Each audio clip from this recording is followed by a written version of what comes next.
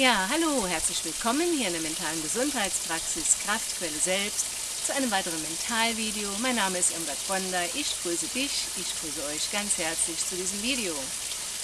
Heute machen wir wieder einen kleinen Ausflug in die Küche, denn heute verrate ich euch mein Lieblingsrezept des Monats Juli. Und das passt wunderbar zu den Temperaturen. Heute werden so um die 38, 39 Grad erwartet. Deshalb habe ich mich auch kurzerhand mit der Kamera in das Haus verzogen, damit es ein bisschen angenehmer ist. Und äh, ja, das Rohkostrezept, das mich zurzeit so begeistert, das so mein Lieblingsrezept in diesem Monat ist und das ich gerne mit dir teilen möchte, das sind Rohkost-Bandnudeln aus Zucchini mit einer Rohkost-Tomatensauce. Und wie das Ganze funktioniert, wie es gemacht wird, das siehst du jetzt. Ja, hier nochmal die Zutatenliste für etwa eine Portion. Das kommt natürlich auf die Größe der Früchte an. Ich habe hier genommen eine mittelgroße Zucchini, drei kleine reife Tomaten, ein paar getrocknete Tomaten, ein Esslöffel gutes Olivenöl, und dann ganz nach Belieben ein paar frische Kräuter.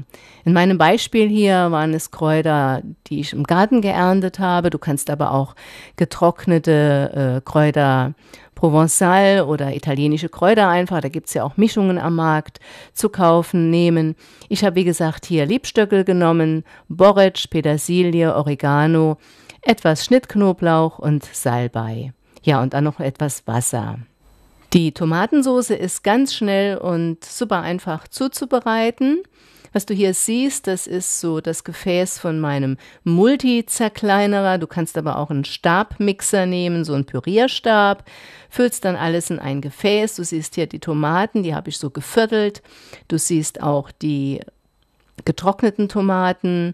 Dann habe ich mit etwas Wasser aufgefüllt, ein Esslöffel Olivenöl dazu getan die Kräuter einfach obendrauf und das Ganze dann mit etwas äh, Salz und Pfeffer noch gewürzt und das Ganze wird dann einfach püriert. Ja, und auf diesem Foto hier siehst du dann, wie das dann fertig ausschaut, die Tomatensoße.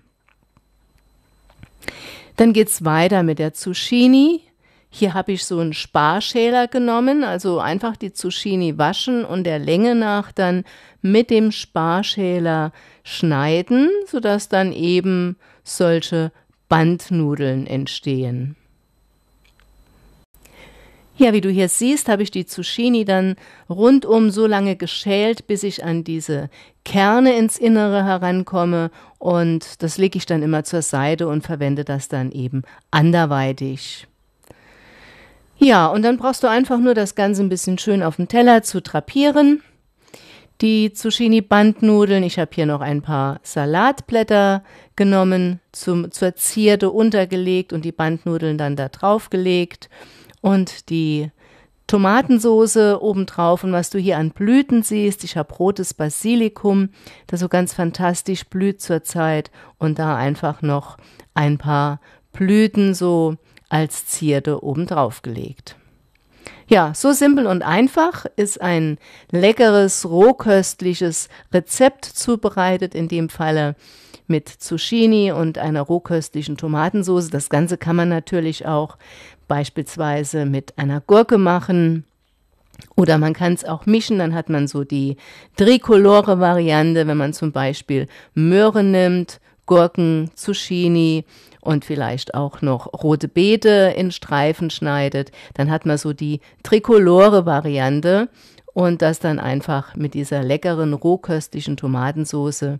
Ja, wenn es dir gefallen hat und du es nachbereiten möchtest, nachkochen kann man in dem Fall ja nicht sagen, freue ich mich natürlich auf dein Feedback und sage in diesem Sinne dann Tschüss, bis zum nächsten Mal, deine Irmgard Bronder.